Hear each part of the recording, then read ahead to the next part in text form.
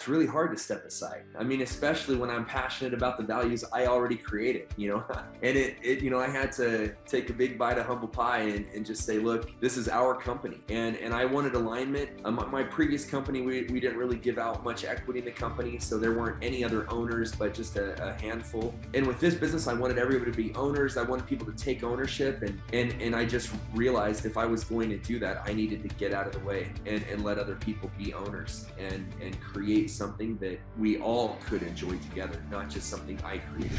Welcome to Growth Think Tank. This is the one and only place where you will get insight from the founders and the CEOs of the fastest growing privately held companies. I am the host. My name is Gene Hammett. I help leaders and their teams navigate the defining moments of their growth. Are you ready to grow?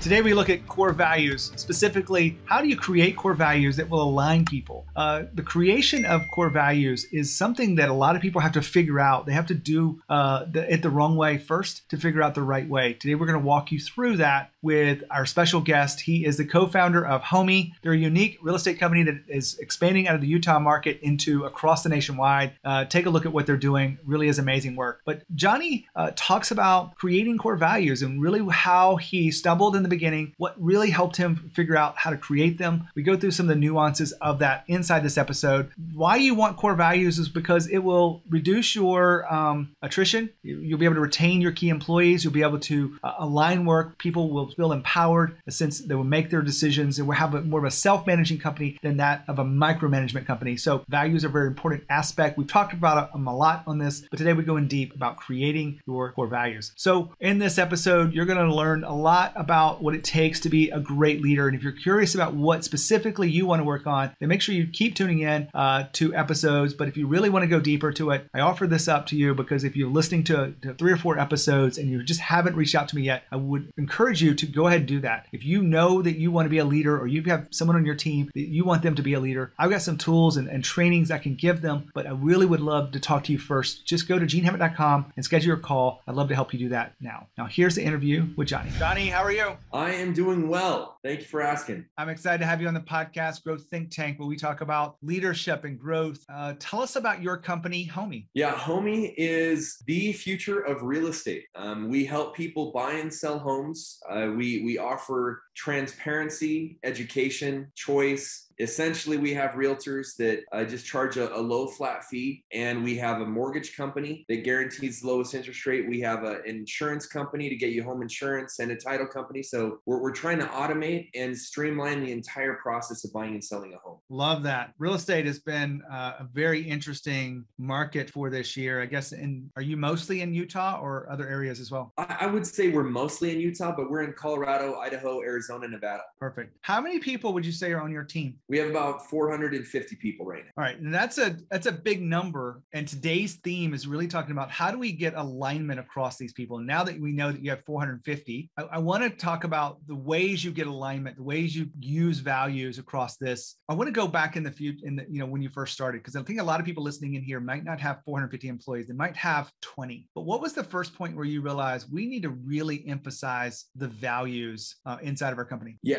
immediately. I, I felt like uh, I, I, needed to do it right away because I had started a previous company I called Entrata. And about seven years into that company, we were pretty aimless in terms of culture and values. And uh, I met a lady named Ann Rhoads, who was the chief people officer of Southwest Airlines, former co-founder of JetBlue. And she uh, she wrote a book called Built on Values. And, and it was a blueprint of how to establish values at a company. And, and man, we implemented that. We hired her. She gave us direction on, on how to do that. And I watched our company change for the better. I watched metrics improve, turnover decrease, happiness improve. So yeah, starting Homie, I knew it was the right thing to do right away. Now, I, I know there's a book out there around this, but when you were putting together the values, what could you walk us through that process? Yeah, so I, I actually had forgotten what I read. So I just kind of winged it with Homie because I thought I knew everything uh, about values and culture.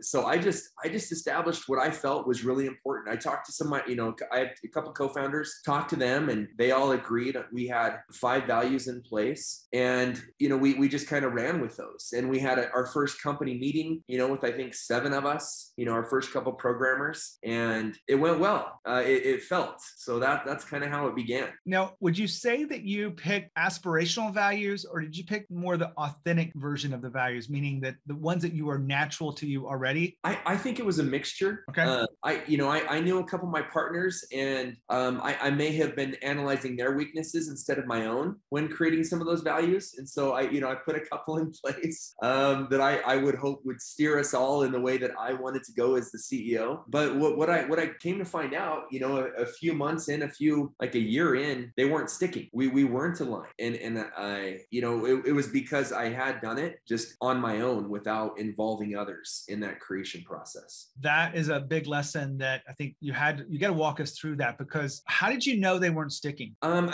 I, I would say from my previous experience, you know, when we when we had a little values retreat with several key leaders and and leaders not by title but um, by attitude within the company, we came back and introduced those values to our company, and everybody it was like a sponge. Everyone just absorbed them, and and and it felt right. They they really uh, felt like they were aligned with with what we were trying to accomplish, and and a lot of aspirational stuff too on things we were doing really bad that we knew we needed to improve on. And so I, I think that rallied everybody at my previous company, and I just didn't see it. So that that didn't that wasn't it wasn't the same feeling. It wasn't the same excitement, you know, a year in, and and I I didn't really think about it. But when I when I did think about it, I'm like, huh, no one, you know, this is a different experience. People aren't into it like my old company. Uh, Johnny just said the values weren't sticking, and what he means by that is they just weren't being used as a tool across the company. We weren't living the values. And the big problem we have here, and people know this, they, they say the words back, but you can't just have your values on the wall of your company and expect that to be enough. You want to create rituals inside the organization, like shout outs that uh, he mentions a little bit later into the episode, but also other ways to create a real recency effect of what the values are, why we want them, and who's really living them, and, and show that as a form of recognition. All those things across living the values, plus many, many more from um, hiring people to onboarding. We have some resources coming out here soon. We hope to, to, give you, but I want you to know that you can't just put them on the wall and expect that enough. If you want them to align people, you've got to live the values, and that's the big lesson for today. Back to Johnny. When you um, decided they weren't into it, did you guys recast the values at that point and, and change the approach instead of you doing it? You included other people, is what I'm what I think I heard you say. Yeah, hundred percent. I, I ended up reading that, that book again. You know, okay. to follow to see if if I had done it right at the beginning, and I'm like, no, I, I totally messed up. So so yeah, we we uh we had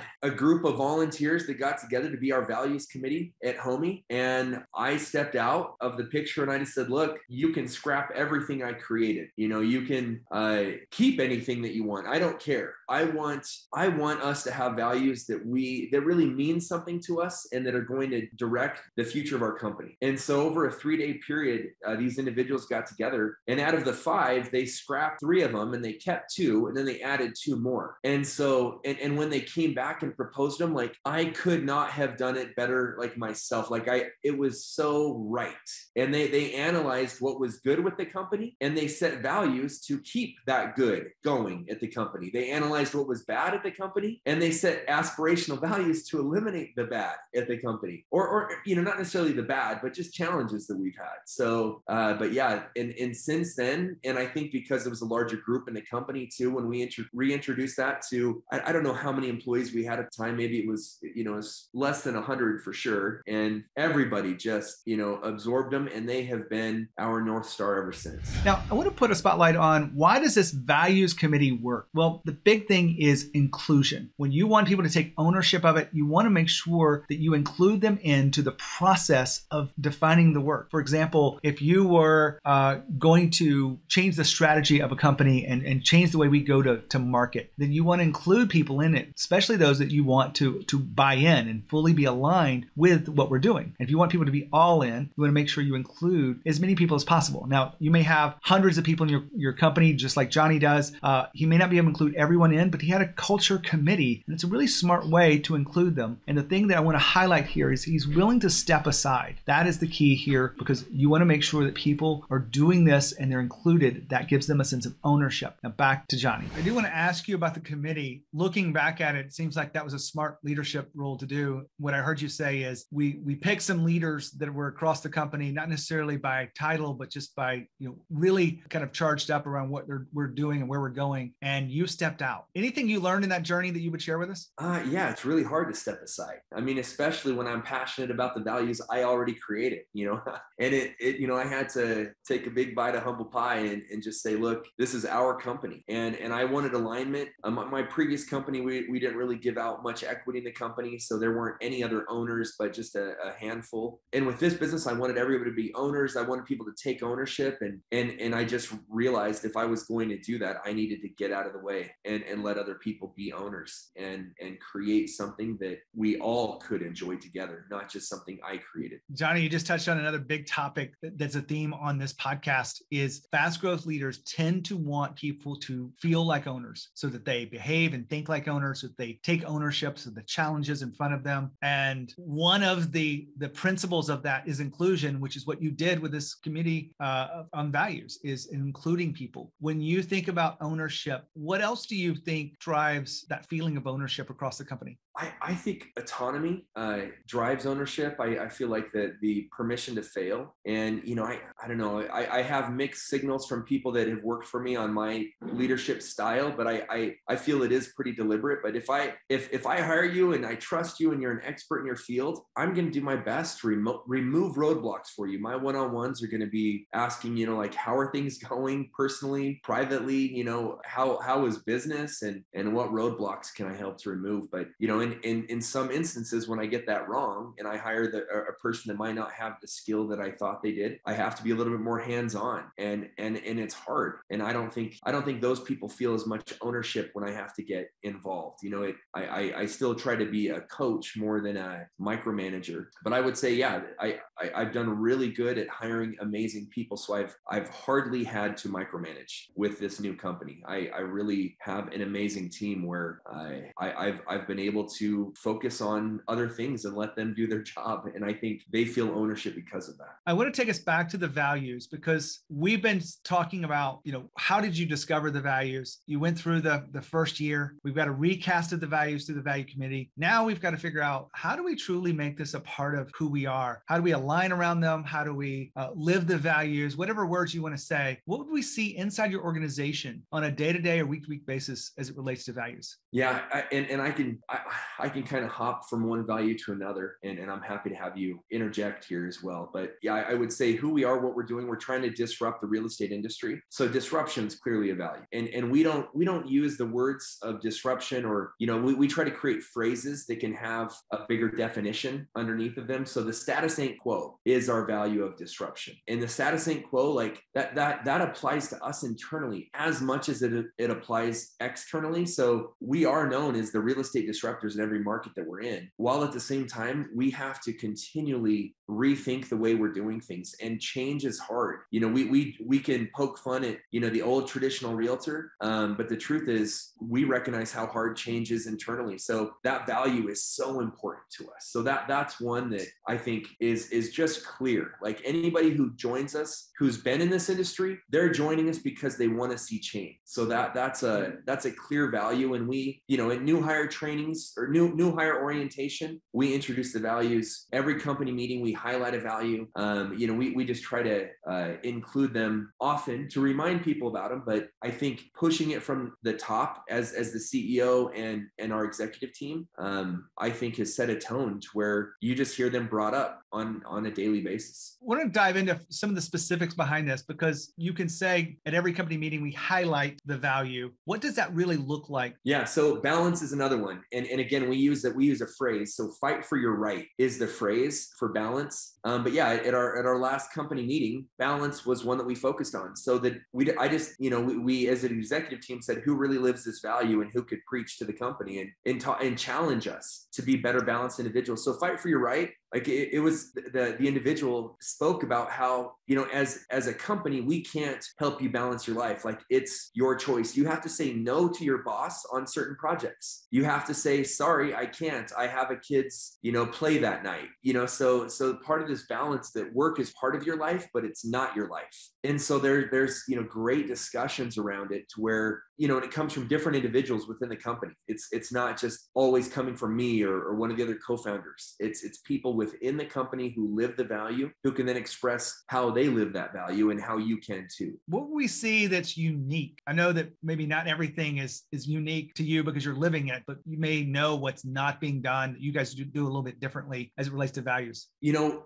i i, I uh, implemented kind of a mental health strategy a couple years ago before covid. Thank thank goodness before covid. Um, and what i came to find out was that this mental fitness program was actually foundational to our values. So for example balance like if if you look at traditional therapy you have to understand how to set boundaries. You have to have self-love and self-care to stand up for yourself to have a boundary in order to have balance. You know to disrupt yourself you know we're trying to disrupt an industry but to disrupt disrupt yourself you have to look in the mirror you have to go deep. You know humility is another value that the phrase is check yourself before you wreck yourself. And and and humility like how how can you be humble? Like how do you know that you're being humble? And to really analyze it uh, we've we've gone to mental fitness principles where we've recognized that confidence is humility true confidence. And so if you're feeling less than or better than you're insecure. You're not really humble. If you're comparing anybody you're not humble. You know if, if you're putting yourself down or putting other people on pedestals you're not humble. And and this is like it, it's it's an insane mental fitness workout to really analyze these values and analyze yourself because it's so easy to point fingers and and look at others not living the values or being off with their own mental fitness. And so to me that has been huge. And especially during covid the crazy elections you know the the the fires that are going on everywhere you know like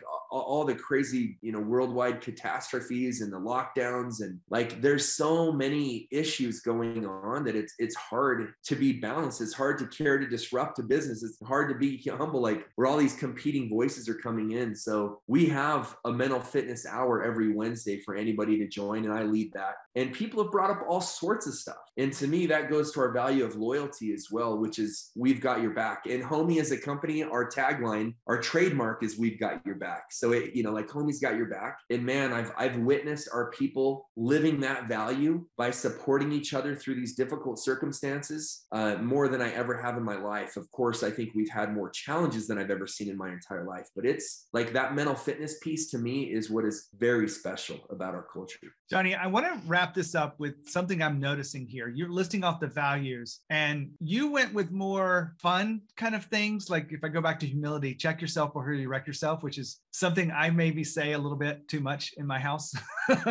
um, I know you have eight kids. You probably say a lot more than I do. but you you didn't go for what tip people typically do, which is a very you know straightforward uh, way of doing it. It's it's more of a fun way to do it. Like we have your back. That's about loyalty, but you have to kind of. It's a great way to do this. Did you was this intentional? I know the committee did this, but um, you you you loved it. You already said that. Yeah, it, it absolutely was intentional, and and I learned that from my previous company too. And and we we came up with phrases, and you can have bullet points underneath these phrases. You know that they can just broaden the definition. But yeah, the, the fun phrases make it memorable. You know, if it was just humility, loyalty, balance, disruption, it you know can sound like any company out there. But check yourself. We've got your back. Fight for your right. The status ain't quo. Like that's unique to Homie. No one else has those. And and it allows for that, you know, the inclusion of additional definitions to really hone in on the type of company we want to be without having without having to have 10 or 20 core values. You know, the, these four really embody, you know, probably 10 or 20 core values.